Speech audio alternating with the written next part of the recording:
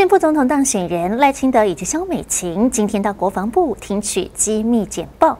总统府会后释出照片，被点名接棒国防部长、国安会秘书长顾立雄确定陪同参加，让外界对于国防部长的人选增添了更多的想象。而且赖清德听简报的时间，比起蔡英文二零一六年当选时还要提早十二天。赖英直言，这是因为两岸的关系紧张，必须提前来听简报。绿营则认为是提早进入状况是好事。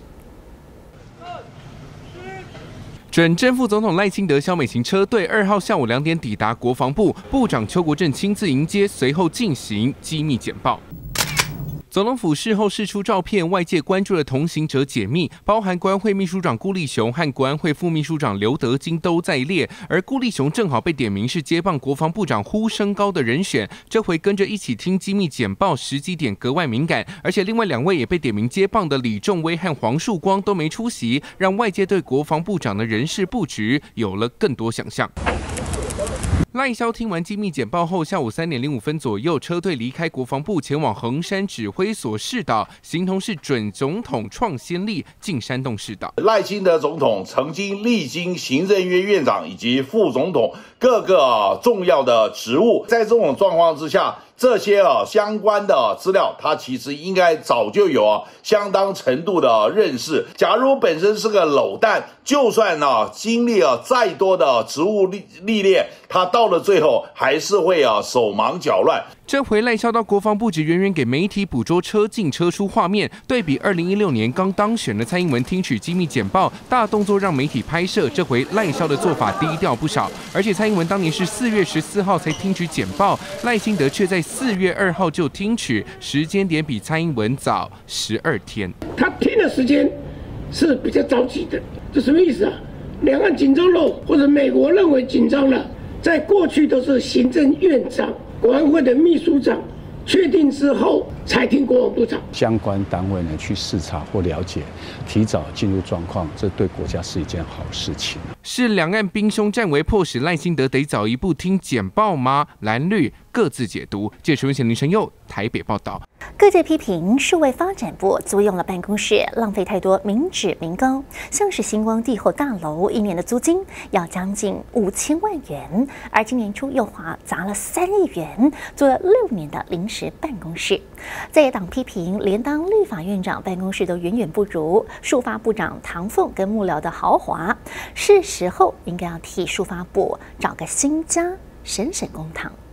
两百亿成立的数发部打诈成效看不到，部长唐凤更被蓝绿炮轰，浪费公帑上千万，又是天价装潢，又是爽出国，更有立委拿资料讽刺数发部长和职员的高档办公大楼，连立法院长办公室都比不上。我们韩国瑜韩院长啊，包括周万来，他们所有的工作人员啊，他们是在以前你校的这个教室里面办公。唐凤你得上班，一早去地后星光大楼在上班。目前数发部租的办公室是台北市地价前三名昂贵的星光大楼，一年。租金就得花费近五千万，网友炮轰出国坐头等舱，办公也要用豪华空间吗？书法部果然是肥猫愁用专用啊！立委再报，书法部年初又再花超级天价签办公室租约，今年一月份又去签了一个六年三亿的租金，按我三亿用倍的啊！想要跟你说，所以我们来努力帮被骂的臭头的数位发展部找新家，好不好？好。百姓纳税钱有没有花在刀口上？台电连年亏损的无底黑洞，政府现在还要掏一千亿补贴，蓝营炮轰，就是因为民进党废核搞绿呢，连审计长也都无奈。这样的变相补助是否应该要停止？我是希望台电呢要强化经营体制啦，加强开源节流。如果你的售价，低于成本啊，他要赚钱呢就很难。台电坚持涨电价是因为国际燃料价格暴涨冲击，还说连核电占比超过六成的法国电价涨得更多。但专家马上大打脸，法国的电价是市场电价，核电厂是私人的公司，不是法国政府所控制。他卖到德国一度多少钱，他在法国就卖多少钱。法国电价涨不是反映它的核能电厂的电价，而是反映在电力公司的利润。请问一下，我们台电有利润吗？政府动辄上千亿特别预算，纳税钱有没有被乱花？当审计部说了真话，百姓好奇，难道执政者还想继续装傻？记者张思林卷 S L 组台北报道。对于经常外食的现代人来说，实在很难确保每天能摄取到足够好菌，也因此。越来越多人选择在生活中补充益生菌，来帮助肠道健康平衡。但市面上这么多的益生菌，该怎么选呢？挑选具有专利认证菌株最重要。面对换季引起的干痒红肿，能调整体质的太阳星全效克菲尔益生菌，就是一个稳定健康基础的好选择。金三角全效配方，让肠道增加好菌。美国国立卫生研究院收录多篇学术报告，也证实了克菲尔的重要性。